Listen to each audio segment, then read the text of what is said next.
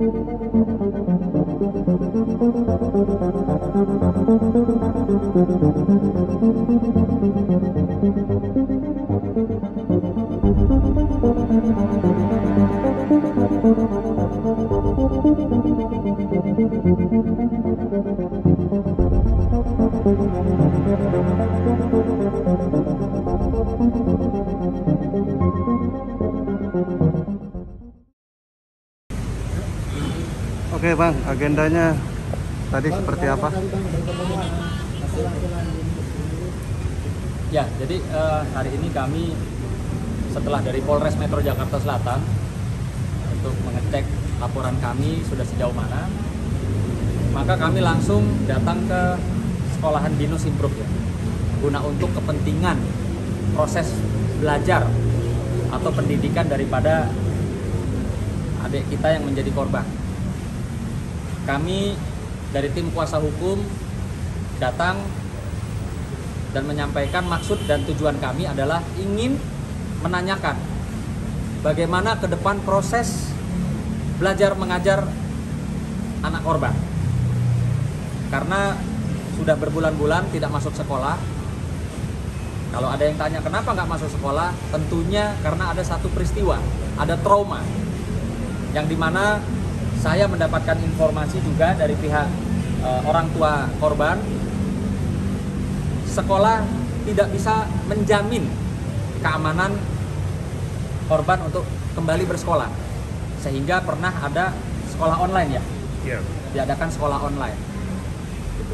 Nah kedatangan kami juga ke sini selain mempertanyakan masalah tentang pendidikan ya eh, anak korban kami juga mempertanyakan sistem keamanan sekolah ini seperti apa kok bisa kejadian penganiayaan, pelecehan, pengeroyokan itu terjadi berulang.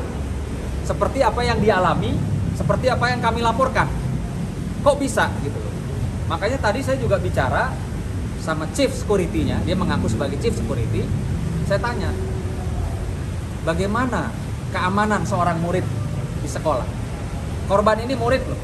Korban ini bayar loh, orang tuanya bayar.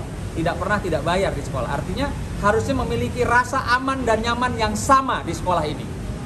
Nah ini yang tidak didapatkan, makanya kami selaku tim kuasa hukum mendatangi untuk menanyakan, ya, audiensi untuk minta klarifikasinya seperti apa.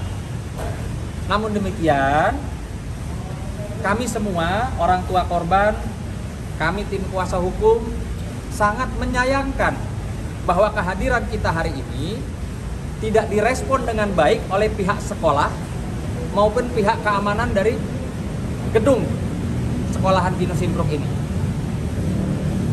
Jadi saya rasa ya nggak perlu kita nunggu lama-lama. Hasilnya kami tidak ditemui atau tidak dijawab yang menjadi keinginan maksud tujuan kami hari ini.